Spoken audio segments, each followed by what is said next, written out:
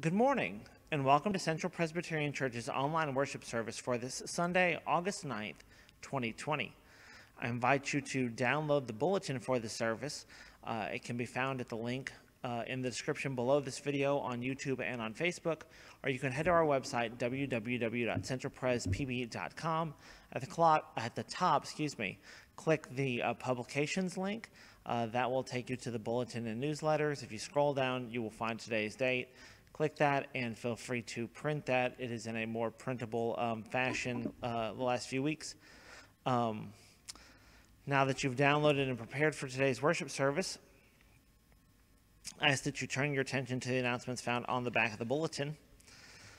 Uh, the session has decided to continue online services for the month of August. Uh, we will reevaluate the situ situation at the end of the month. Archives for our online services can be found on Facebook and YouTube. Links to each can be found on our website, um, which where you can also find online giving is now available. Uh, click the Donate Now link. Uh, we take credit cards, debit cards, and checks. You can also set up a recurring donation on a weekly, bi-weekly, or monthly basis. Let us prepare to worship God. The word is near you, on your lips and in your heart. If we confess with our lips that Jesus is Lord and believe in our hearts that God raised him from the dead, we will be saved. For one believes with the heart and so is justified, and one. Everyone who calls on the name of the Lord shall be saved.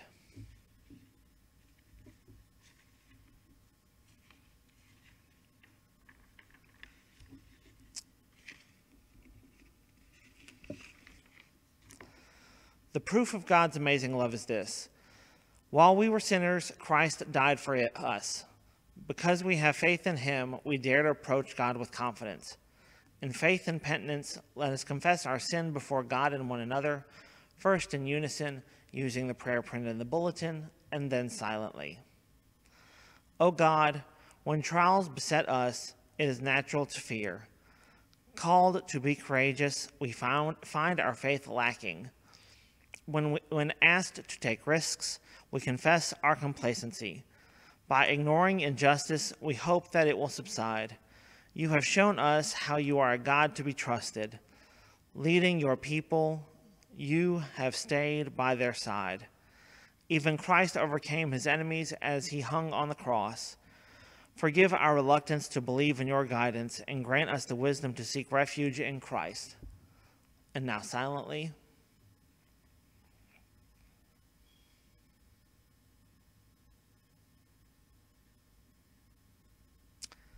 Amen.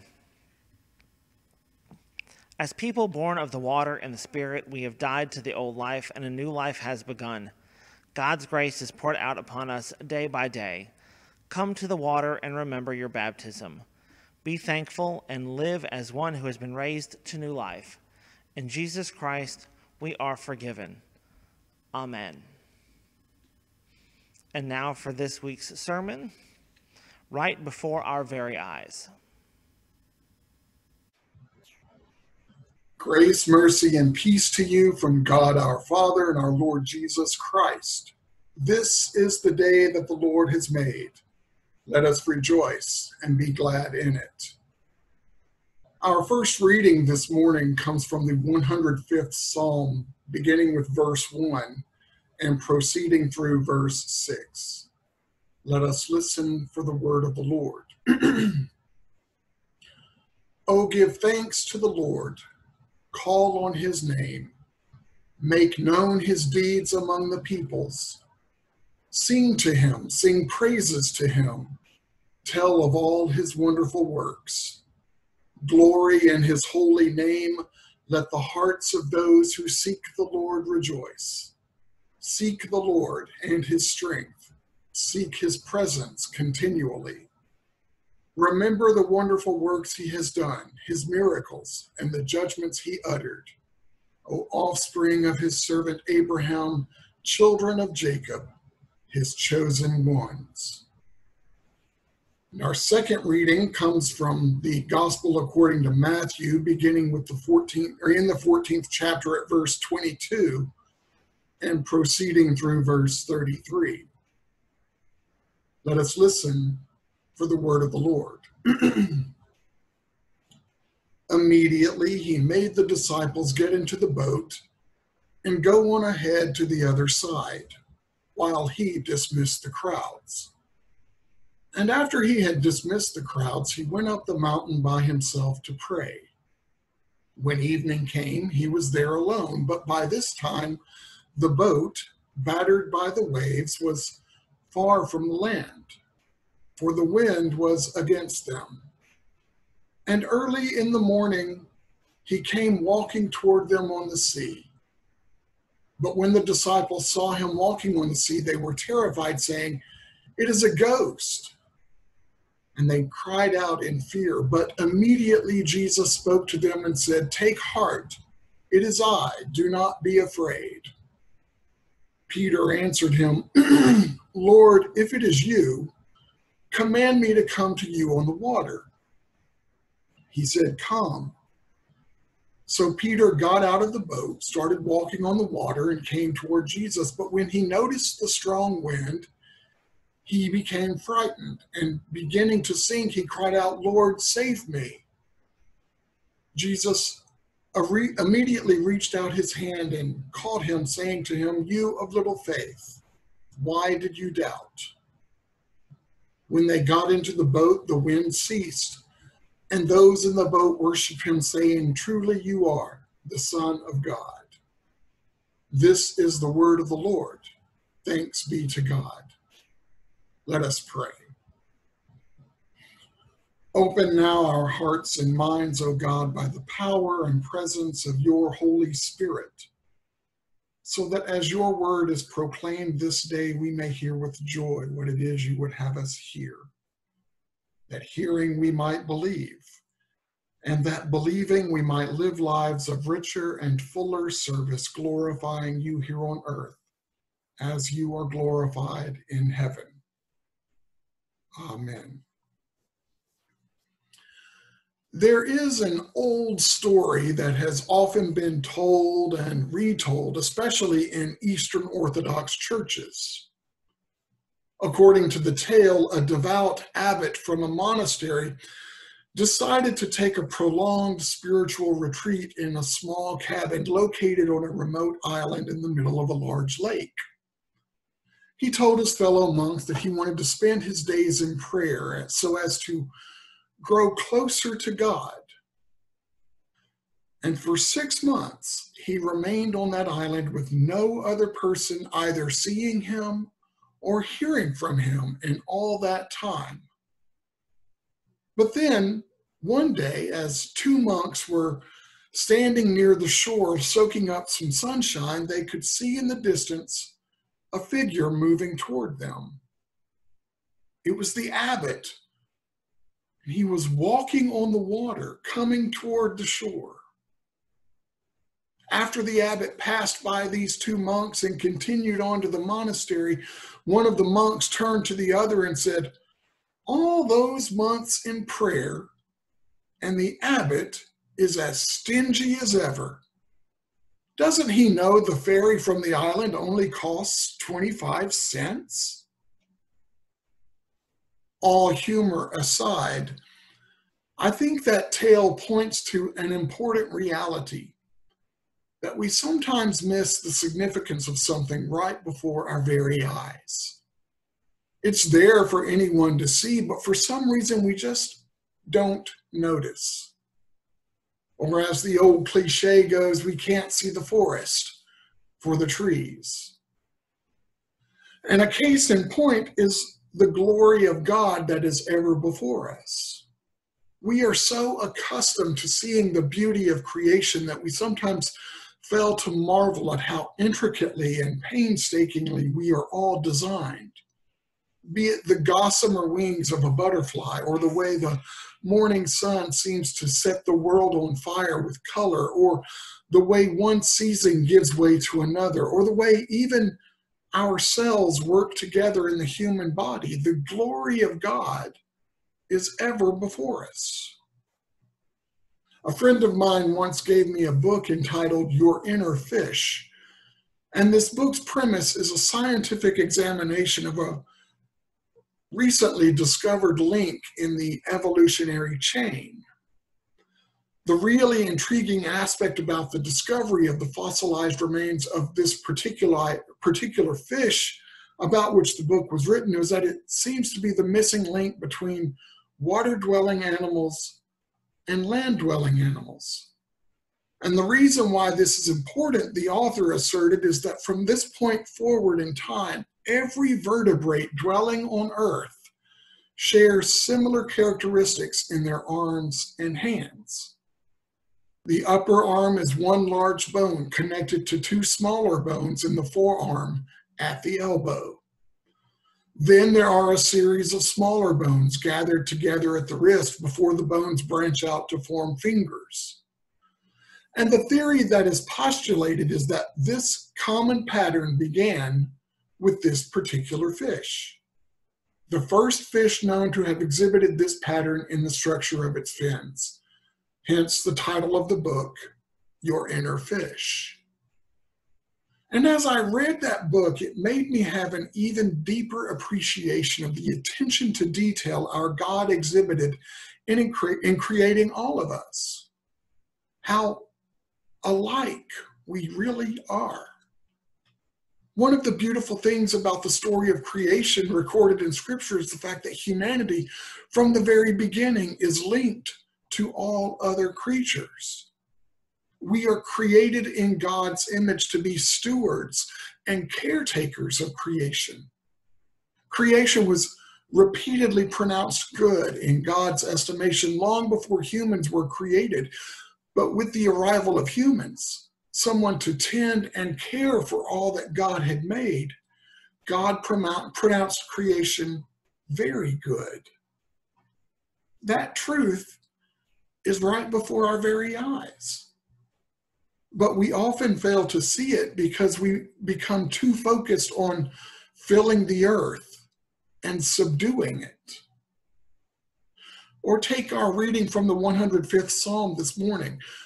It says, Remember the wonderful works he has done, his miracles, and the judgments he has ordered, uttered.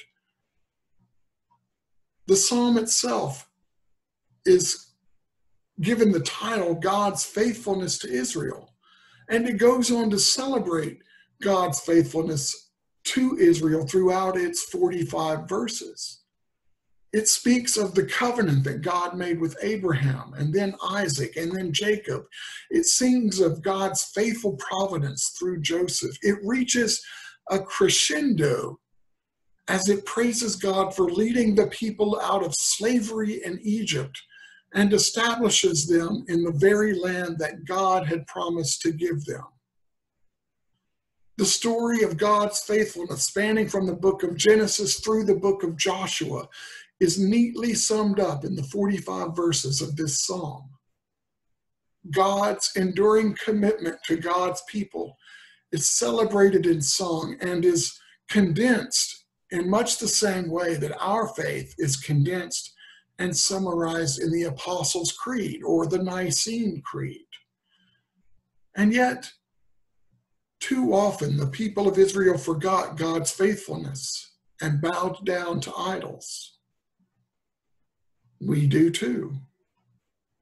This gracious, faithful, providential God is always in our midst, and yet much of Israel's and our history is a sad and tragic story of how we search for someone or something to fill that innate sense of longing, that God shaped hole in each of us, because our eyes fail to notice the one who is right before our very eyes. And I believe that this is the issue behind our reading from Matthew this morning as well. Traditionally, this passage has been interpreted as Jesus standing out on the stormy seas of life and beckoning us to step out in faith, to enter the chaos and confusion in our midst, and do so with courage and a firm resolve. Hence, Peter initially does the right thing, but when he takes his eyes off of Jesus, he sinks like a stone. And the moral of the story in such an interpretation is that we should keep our attention on our Lord and not worry about how impossible the tasks our Lord calls us to perform really are. And I'll admit there is much to be said about heeding our Lord's call and walking where he walks without fear or reservation. As we were fond of saying in seminary, that'll preach. But I don't think that that is the only interpretation of this passage. As is always the case when interpreting the scriptures, context is key. And the events in this morning's passage follow immediately on the heels of Jesus' miracle of feeding the multitude with five loaves and two fish. This miracle was indicative of what Jesus had been teaching about the kingdom of heaven, namely that something grand and glorious results from very small and seemingly insignificant beginnings. Equally telling about this miracle is the long standing history of God's ability and willingness to use our own brokenness to be a blessing to others, which we examined last week. So, as Jesus dismisses the crowd, he sends his disciples ahead of him to the other side of the Sea of Galilee. Then he goes off to spend some time in prayer. But then we read that ominous detail. When evening came, he was there alone, but by this time the boat, battered by the waves, was far from the land, for the wind was against them a more literal translation of the Greek there is that instead of being battered by the waves, the boat was being tortured or torn apart by the waves. Matthew's word choice is interesting. Could this, in fact, be a message to a community of faith that was enduring persecution? The possibility is there, but we need not be experiencing persecution for us to know what it is like to struggle and strive in the face of hardship and feel like we are making no progress whatsoever. But note what happens next in the story. Matthew reports that early in the morning, Jesus came walking toward them on the sea. Now, our modern enlightened minds tend to get sidetracked by whether or not this was possible.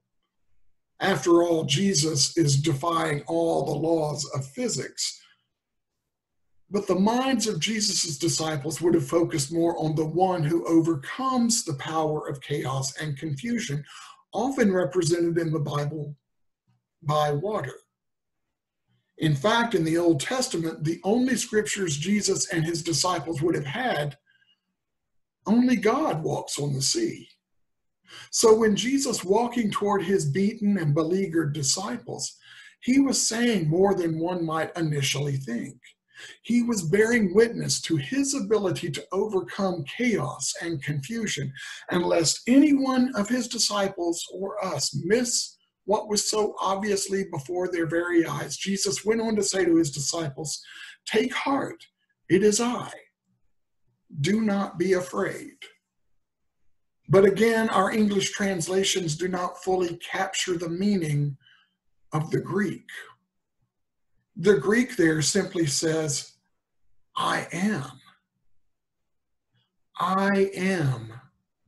As in God's response to Moses' question about God's name at the burning bush, I am who I am. I am, says Jesus. The one whom Matthew reports will be called Emmanuel, God with us. God is in the midst of the chaos and the confusion, the trials and the tribulations. Moreover, with each step he takes, our Lord is literally moving closer to his disciples in the storm. And we can almost hear the words of the 105th Psalm pulsing in the background. Remember the wonderful works he has done, his miracles, and the judgments he has uttered. If ever there were a time when the comforting news of God's abiding presence in our lives was right before the disciples' very eyes, this would be it. If ever there were reason enough to take heart and have no fear, this would be it. But Peter wasn't so sure. And before we judge Peter too harshly, we should bear in mind that we all bear a striking resemblance to him in our own lives. I love how Barbara Brown Taylor summed up the portrait of Peter in her sermon, Saved by Doubt. She writes, There is something so sincere about him and so achingly familiar. He is full of faith one minute and full of doubt the next, riding high on his confidence in Jesus one moment and lying in the dirt the next. He's not a fake. Through all his ups and downs, all his great moments and his awful ones, Peter's heart is on his sleeve. What you see is what you get with him. An impetuous, outspoken man who both loves Jesus and lets him down, who richly deserves Jesus' judgment, but who also receives his grace. We could easily insert our own names in place of Peter's, and the same could be said for each one of us. And in spite of the overwhelming evidence before his very eyes, Peter is not sure it is the Lord who is drawing near. So he takes the initiative. Notice it is his idea, not the Lord's, to get out of the boat. If it is you, command me to come to you on the water. If, in that one word, Peter expresses his need and his desire for proof. As if Jesus walking on the water and revealing his identity with the words, I am, were not enough, Peter, Peter needed further assurance. That word, if, appears in other places in Matthew in reference to Christ's identity. While being tempted in the wilderness, Jesus hears the word three times from the lips of Satan If you are the Son of God, then do this. It happens again as Jesus is dying on the cross when scoffers at the foot of the cross yell out, If you are the Son of God, come down from the cross. If you are who you say you are, then make me do something grand and impossible like walking on the water, says Peter. Prove it. And so when Jesus asks Peter, You of little faith, why did you doubt? Maybe the issue is not that Peter sank like a stone, but that he wanted to get out of the boat at all. Sometimes it's enough just to be in the boat, recognizing our Lord's presence among us, trusting and believing that the winds and waves or the trials and tribulations that besail us, uh, assail us and besiege us will not overcome us. Sometimes remaining faithful simply means continuing to row the boat in the midst of the storm while worshiping the Son of God in our midst. Perhaps that is the test of faith. Not whether or not we can walk on water like our Lord, but whether or not we can endure when things get really rough. Because the storms of life will always rage around us.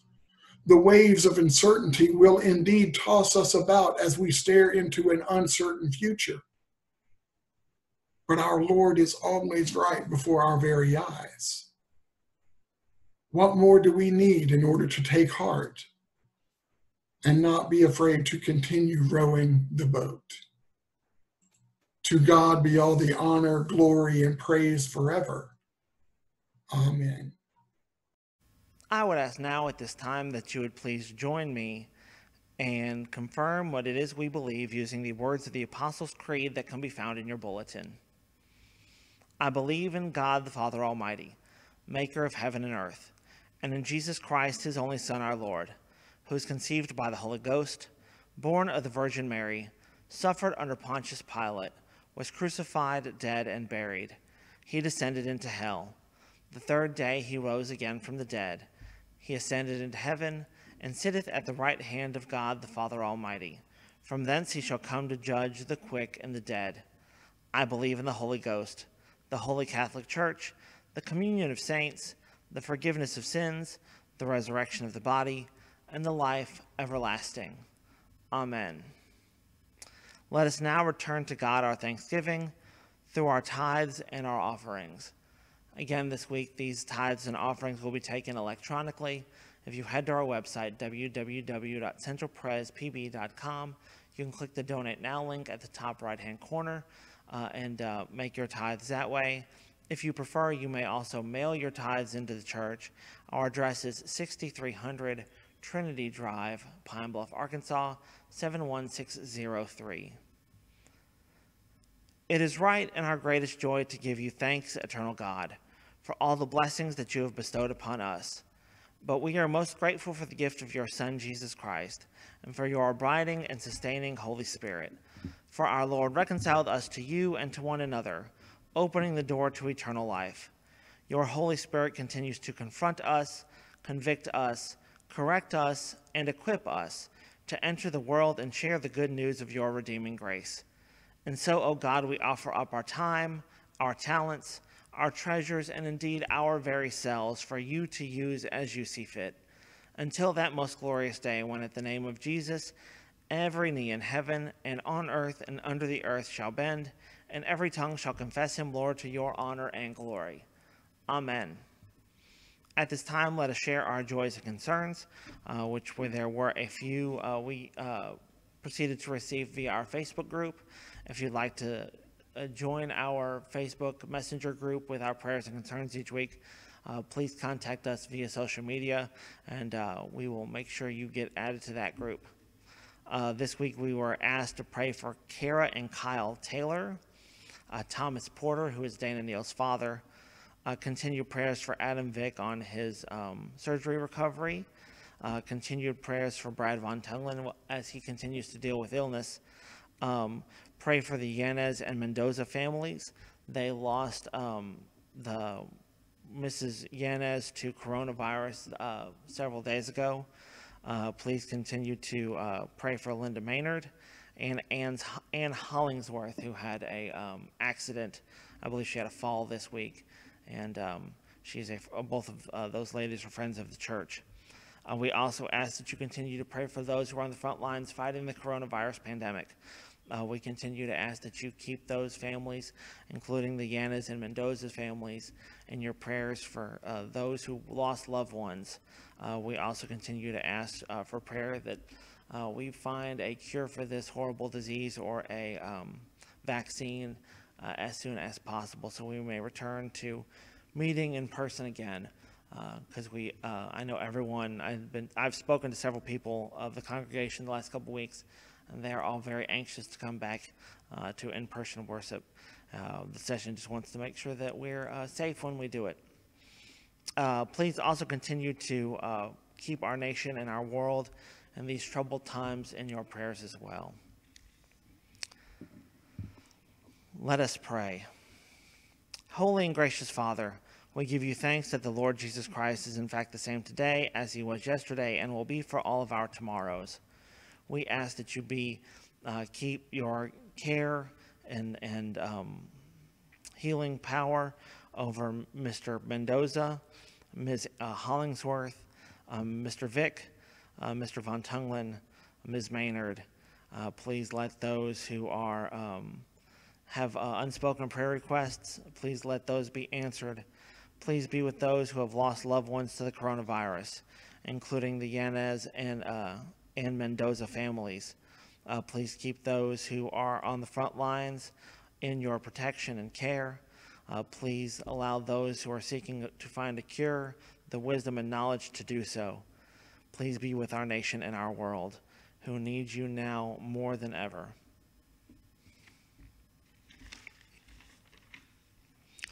Give us hope as we strive to be faithful disciples of Jesus Christ, who taught us to pray together, saying, Our Father, who art in heaven, hallowed be thy name.